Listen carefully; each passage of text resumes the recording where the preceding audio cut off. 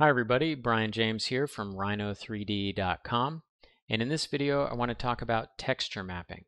Texture mapping is the process of how an image in a material gets wrapped around a 3D model.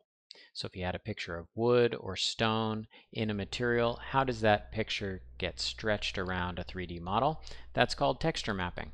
Texture mapping is also referred to as UV mapping or simply UVs. Now here I've got this casual sneaker model and I'll set up a new material in my materials panel. I'll click the plus symbol and create a physically based material. I'll click the detailed settings and add a base color channel and I'll click to assign a texture within that color channel. I'll choose from more texture types and pick a 2D checker texture. This is just to get the mapping right. I don't necessarily want a 2D checker texture in the final material. I'll select all my objects, and in this case that includes some NURBS poly surfaces, some meshes, and some sub D surfaces. I'll right-click the material swatch for the material I just created and choose Assign to Objects. The default mapping method is defined in the texture itself. So if you click the texture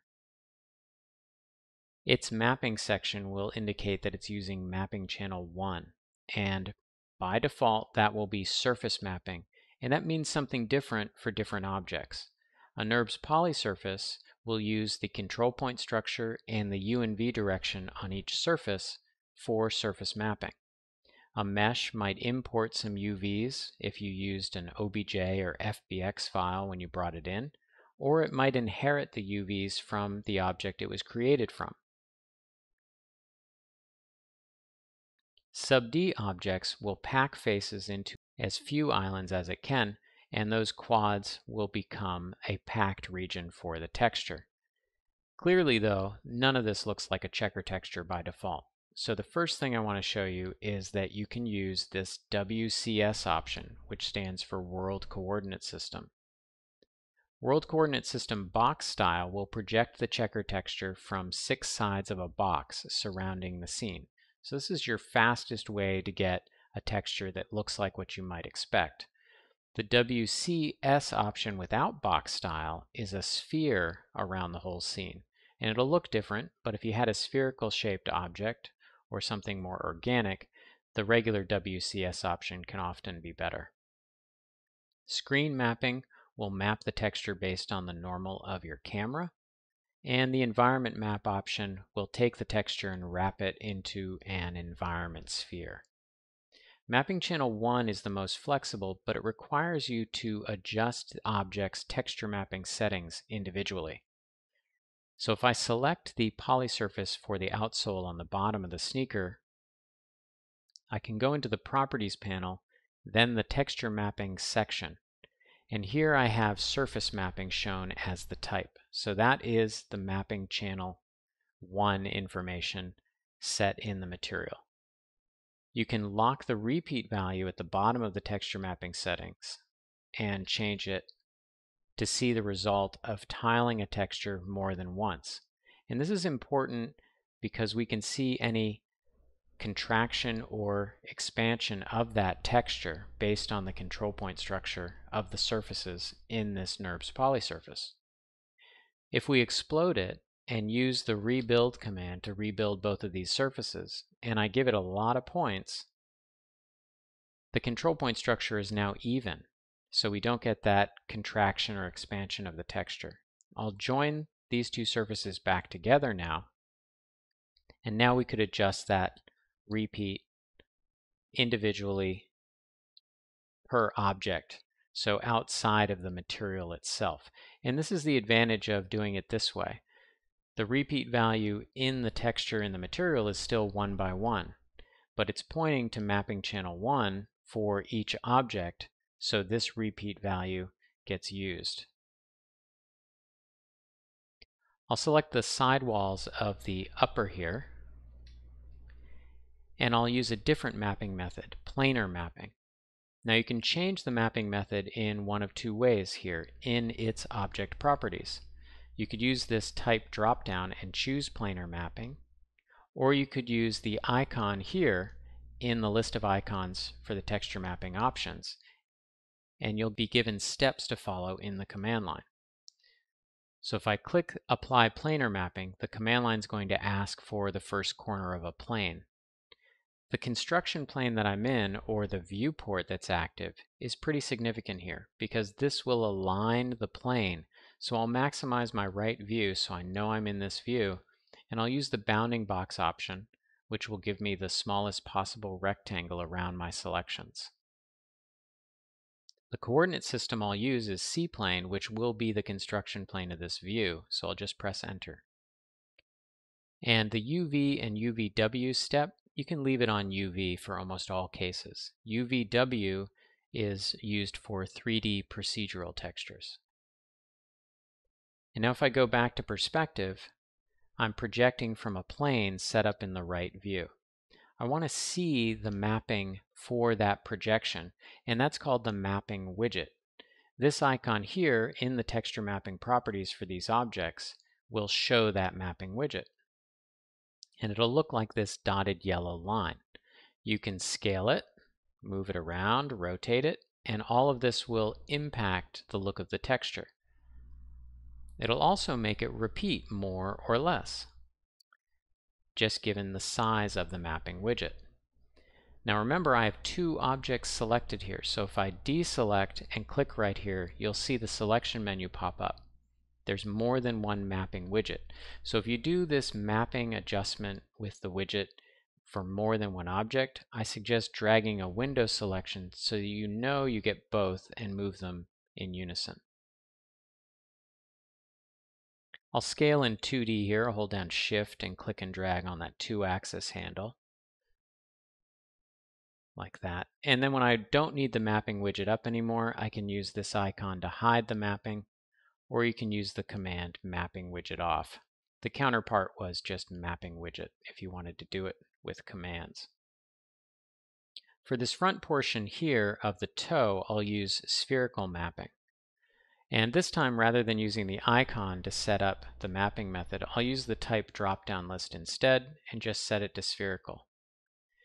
I'll then need to show the mapping widget so you can see where the mapping will automatically be placed if you just use the drop-down. And that location is at the world origin. So 0, comma 0, comma 0 in x, y, and z space. And you can drag this back and forth if you select the object itself, you can change your repeat values. And in the case of a sphere, that's going to point out the existence of a pole on the sphere. But if we drag that back like this, we can hide the pole just simply by having it out of the way, or you can rotate the sphere back so that it's not part of the, uh, the look of the texture. I'll hide the mapping widget and then for the tongue, I'll use the match mapping. Match mapping is this icon, and you'll be asked in the command line to select a source object. I'll pick the piece that I just did with spherical mapping. And this, this tongue is now using the same mapping widget, but it's its own mapping widget that can then be individually adjusted. So I'll click Show Mapping, and drag it back just a little bit more so the pole of, of the sphere is not involved in the tongue. And then hide mapping. For the laces, I have a bunch of mesh objects that were joined together into one disjoint mesh. And they do not have any geometry underneath. So they're open underneath, and that's going to be important for unwrapping. It means I don't have to select any seams, any edges in the meshes uh, to allow the unwrap to work. And unwrap is like if we had cut these open and then just smushed them down onto a table.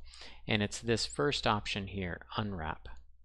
You'll be asked in the command line to select seams. And since they're open underneath, we don't have to select any seams. We can just press enter.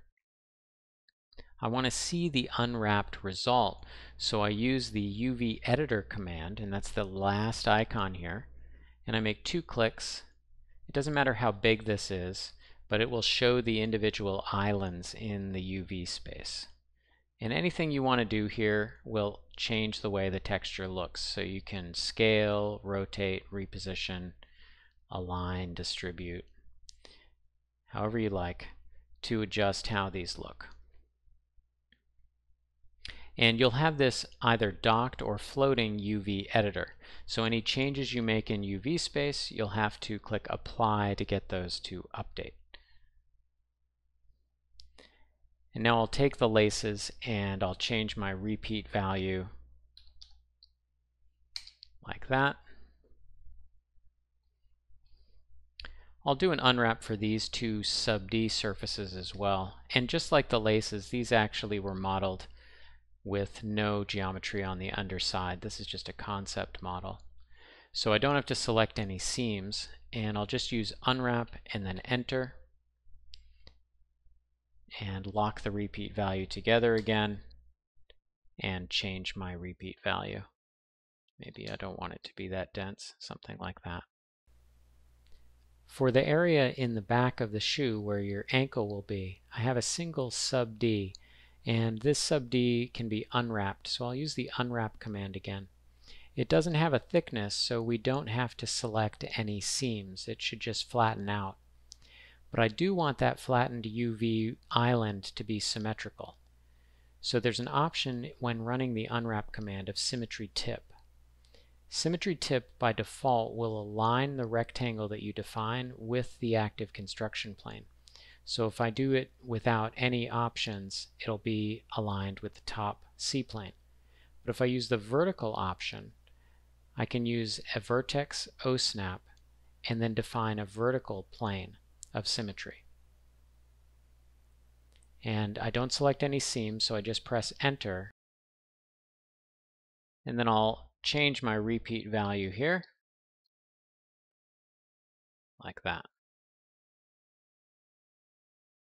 This last piece on the back is a closed sub D. So I'll use the isolate command here.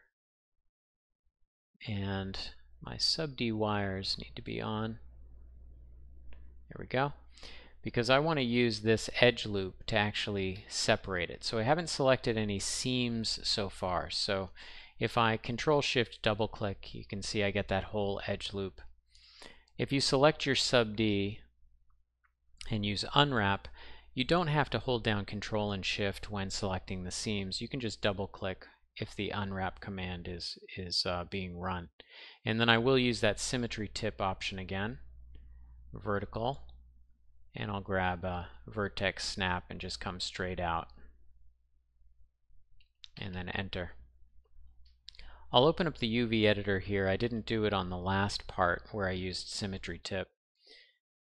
In the UV editor, when you use symmetry tip, it's going to try and keep both sides of the unwrapped island symmetrical.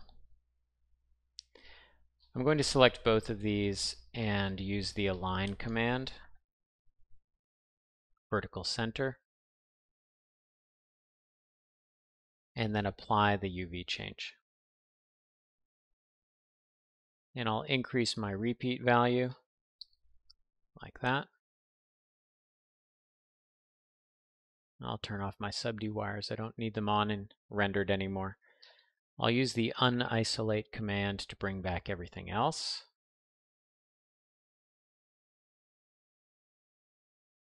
And so uh, we've got a pretty funky style here, but this is what I wanted to do, is just lay out the texture mapping for each object in the model. And now we're free to assign the actual materials we want to use or change the texture used in the material that's currently assigned. I want to make a material from the material library though. So I'm going to import from material library and I'll grab from the textile section this denim material. I'll select everything, right click that denim material and assign to objects. When you import a material from the material library, the textures within that material will be set to world coordinate system.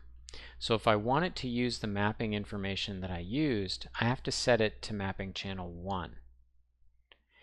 And there's more than one texture here, so you'd have to go through and do it for each or you can do it this way.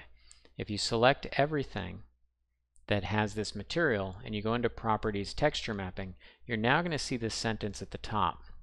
Some of the assigned materials are using WCS, so changes may not actually do anything here. If you click this sentence, click here to fix this automatically, it'll change each of the textures within the material to mapping channel 1. And so now they're all using the mapping that we set up for each. And maybe I want this to not be tiled 20 by 20 anymore.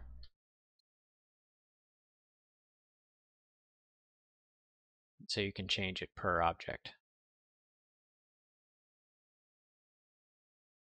I'm going to go into the material and if I look into those textures you can see what I was just talking about. Mapping channel 1 is now used for both of these.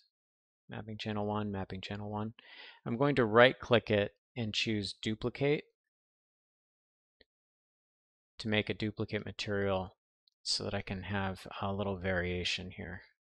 So maybe these objects are all going to get this one. Right click it, assign to objects, and now I can change the color to only be maybe 30% from that texture and the other 70% is going to come from this color choice here. There's a little pipette or eyedropper tool. You can grab a color from from the model or a pixel on the screen rather and uh, I'm going to hit the space bar and then OK just to pick it and that gives me kind of a starting point. I want it to be, I think, lighter and a little bit more saturated. Yeah, something like that. Oh, I think this piece was better with that. Yeah. And the outsole here, I'll make a new material, new physically based material, and assign it to that. So I want this to look like a gum sole, just have a little texture to it. So I'll add both a base color texture channel, but also a bump channel. And the reason is the same as how I set everything else up. I want the base color to be where I, I get it all looking like I want, and then I'll drag it over to bump. It's just easier to see it in base color. So I'll click to assign a texture there, choose from more texture types, and this time I'll pick a noise texture which is another one of the procedural textures. When you have a procedural texture like this, you've got to change the repeat within the texture itself. Uh, so something like 500, and you're really going to see it. There we go. And then you can just click and drag that texture from base color to bump and release it. And now the color is coming from this base color field right here.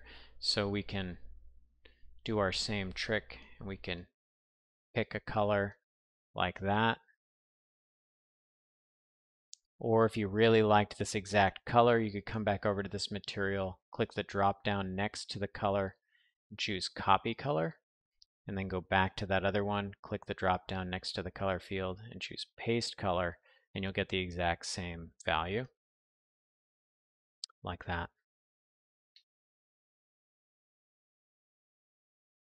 If I want to make this uh, gum texture just pop a little bit more, I can use an ambient occlusion channel within the physically based material. And this is kind of a neat trick that I'll finish up the video with.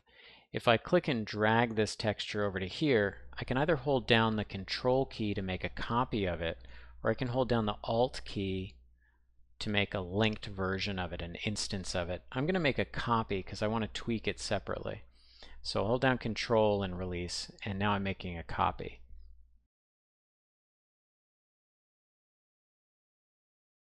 What ambient occlusion will do is take the texture in that channel and make it look like there's more shadow in those crevices created from that noise texture. If I don't want that shadow to be as intense, I'll take the black color and make it a gray instead, like that. Throughout the video I've been using the rendered display mode which is great for showing textures and the mapping as you set it up. If you use the ray traced display mode instead you'll get a more physically accurate rendering and you can consider this to be the same as using the render command. When you use ray traced you may see the textures look incorrect for a moment and then the scene will start calculating again. That process is the baking of the textures and this can happen with custom mapping like I've set up here. So you have to give it a few samples and then it will bake those textures and start calculating properly. I'll add a couple changes here. I'll use a material for the ground plane and turn on the sun. Both of these changes being done in the rendering panel.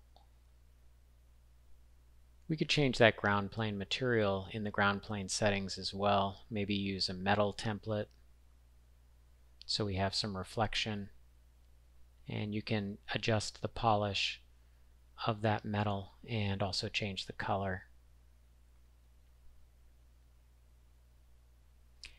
And that's how you use texture mapping in Rhino 7. Thanks for watching.